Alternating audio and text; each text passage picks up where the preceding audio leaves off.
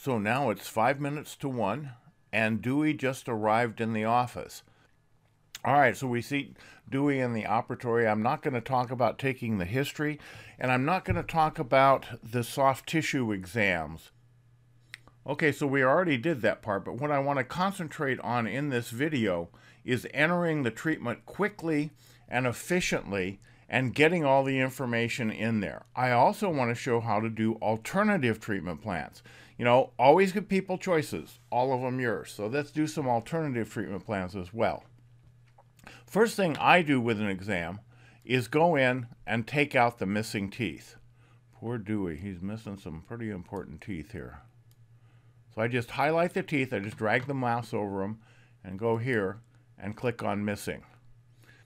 If you want to enter existing restorations, which I don't because I do clinical photographs, but if you did, did, you would go down here to existing other, and let's just say that these two teeth uh, have MOD amalgams. Where's my amalgam?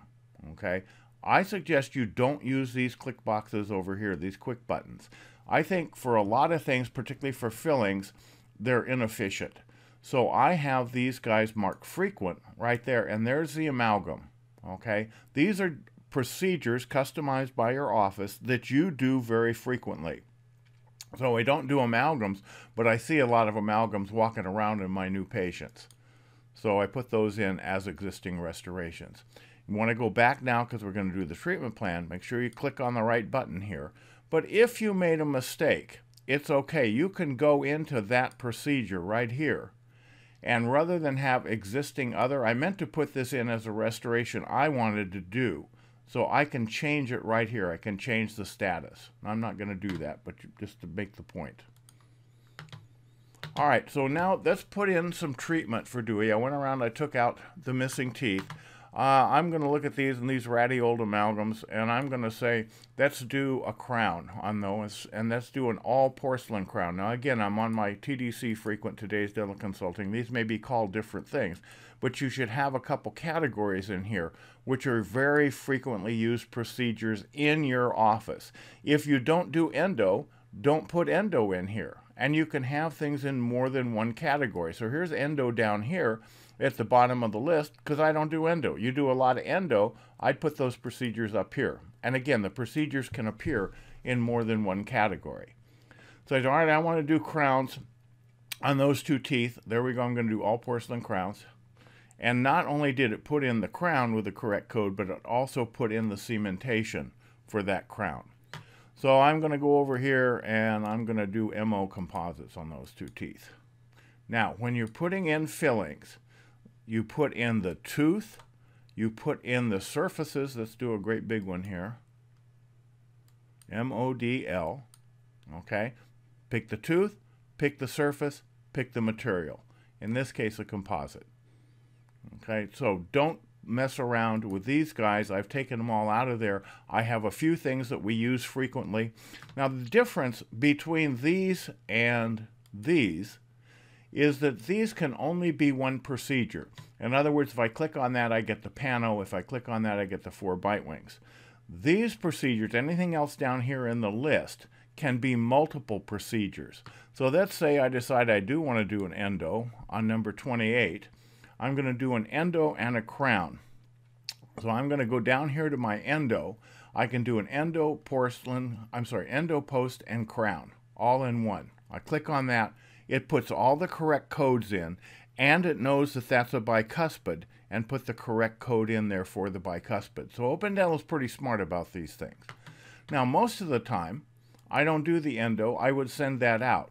But I might do the crown and a buildup. So let's do a crown and a buildup on tooth number 30 here. And again, multiple procedures uh, can be created with just a single click. There we go. So I got my buildup, I've got my crown, and I've got the seat all with one click. So the advantage of doing things down here is you can have multiple procedures with just one click. These things are just a single procedure. So again, not, not good for fillings just because fillings are single procedures, but it's complicated. Where'd that MOD go in here? I'm trying to find where that MOD was. Much easier just to use this. Pick the tooth, pick the uh, surfaces, pick the material. Okay, so now we've got some treatment in here for Donald, and that was pretty easy to put that in and pretty fast. And if we look over in our treatment plan, there we are. There's all that treatment that we put in there. Now, Donald, if you remember, had insurance. And we didn't get that in ahead of time. We got it when he got to the office, but we don't have the insurance in here yet. The front desk is working on that. Now, if Donald filled out, filled out his forms correctly, we should have that information ahead of time. But in this case, we'll say something was missing and we couldn't get eligibility and benefits before he walked in. Not a big problem because it's very quick and easy to do, but I don't have it in there when I'm creating the treatment plan. So keep that in mind for a minute. Let's go back to the chart. And I want to give Donald some alternatives. So he's walking around with a couple stay plates here, and he's not too crazy about it. This is treatment that I've put in so far that Donald really needs to have done right now. Okay, he's got a stay plate. Okay, this is going to be more optional treatment. This would be better, uh, obviously, with a fixed bridge, uh, but he needs to get these other things taken care of. They're more urgent. I can name my treatment plans anything that I want. So if I go back to treatment plans and double click on this, the default is active treatment plan, but I can call this urgent. Okay, I can name a treatment plan anything that I want. The other thing to be aware of is you have only one active treatment plan. I'm going to show you inactive treatment plans in just a second but you can only have one active treatment plan. You can have as many saved treatment plans as you want, and we want to be sure and save the treatment plans here in a few minutes. So let's go back to the chart, and let me show you this magic button right here that says treatment plans. So if I click on this, it changes the chart view in here. Now I still got my priorities over here, which I also had in treatment plan. But this is an easier place to work on alternative treatment plans. So I want to put an alternative treatment plan in here for Donald that includes those bridges. Or maybe let's just include this one because the lower stay plate is not as bothersome as the upper stay plate. I'm going to go right here and create a new treatment plan. Now I can create a new treatment plan in treatment plan over here too, but it's just easier to work with it here in chart. So I click this magic button, I go new treatment plan. Now it's going to be labeled an inactive treatment plan because the other one was active. So let's just call this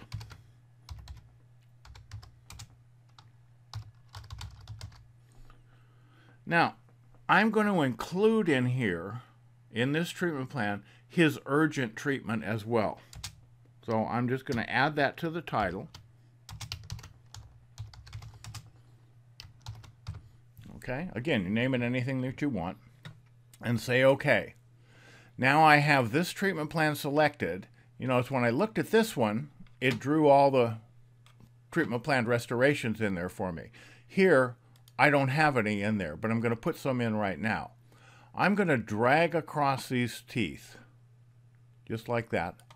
I'm going to go down here to bridges, and I'm going to do a all porcelain bridge right here. Okay, by clicking on that, it put in the correct procedures. Okay, it knows the difference between a retainer and a pontic all automatically. And it also put in the seat for me. So that's part of this treatment plan. Now, I said I wanted to include the urgent treatment plan in there as well. I only have that bridge in this treatment plan. Here's my other urgent treatment plan. I don't have to re-enter these things. I can double click on this and now here's all that other treatment that I can put in there.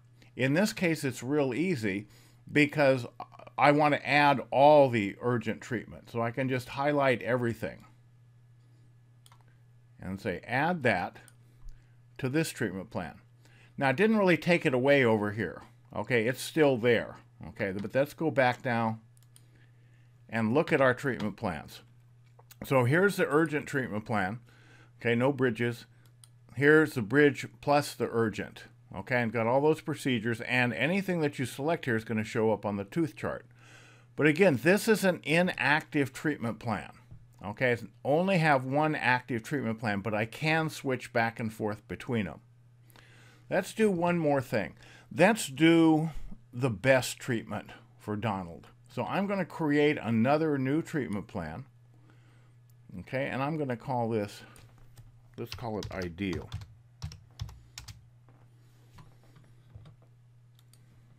So now I have three treatment plans. This doesn't have anything in it yet. But one of the things that we want to put in there is this bridge. Okay, so I'm going to do the same thing here, all porcelain bridge this time. There we go, right codes in there. So now I have three treatment plans in there, uh, but I want to add this treatment to this treatment plan. I'm going to do it just like we did before. Double click there. I'm going to highlight everything over here.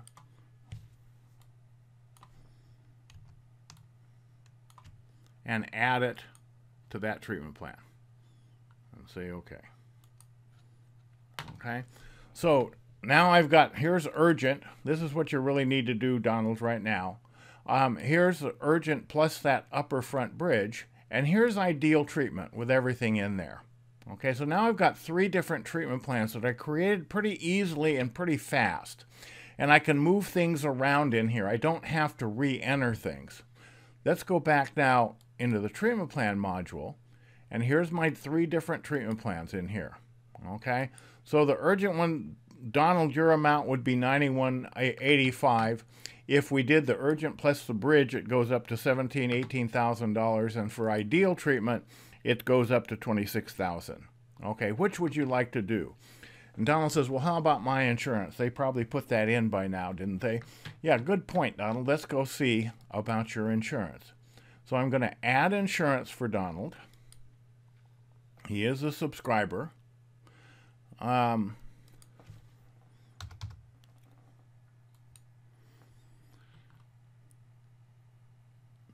it needs a subscriber number or a social over here, so I'm going to put that in. So he's 180.50. And let's put in, well, Donald's got really good insurance. So we'll give them a $5,000 uh, max there and no deductible just to make things easier. Okay. And that's also because this is a Delta plan, we have to put in the Delta fee schedule. Okay, now I might happen to know that my insurance too was a Delta insurance uh, fee schedule, so I can click on that. Okay, we want to make sure we have category percentage. We don't want to use PPO percentage. We want to use category percentage, and we want to use this insurance fee schedule, which is our Delta fee schedule. So now I'm going to say, okay, I added this now after I added all that treatment. When I go back and look at the treatment plan, there's still no insurance in there. So I always have to go up here and update the fees right there. And there, now we've got the insurance information in there. One last thing. Donald's sitting here thinking about this. Uh, one last thing we always want to do is save these treatment plans. And that's really easy to do. Now, an inactive or an active treatment plan can change. You noticed when I updated the fees that they all changed in here. A saved treatment plan does not change. Okay, save treatment plan is static in here. That's a record of what you presented to Donald.